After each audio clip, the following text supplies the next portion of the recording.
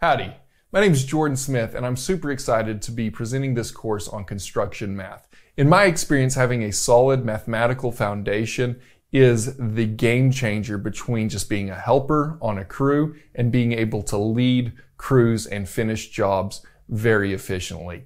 In this course, we are going to be starting with the very simple concepts of how to use a tape measure and how to add fractions, how to convert those fractions into decimals, and then back again to fractional measurements that you can use. We're also going to be talking about volumes. We're going to be talking about areas. We're going to get into some of the more complex trigonometry functions and how they relate to figuring out rise over run on a stair, for example, or how to make sure that a rectangular foundation is square by finding the diagonal. There are so many examples of where a solid mathematical foundation will make you a much faster, more efficient, more productive builder. And this course is going to show you several of those examples and is going to encourage you to find other ways to implement math into your day-to-day job. To get the most out of this class, you're going to want to make sure that you have a few things.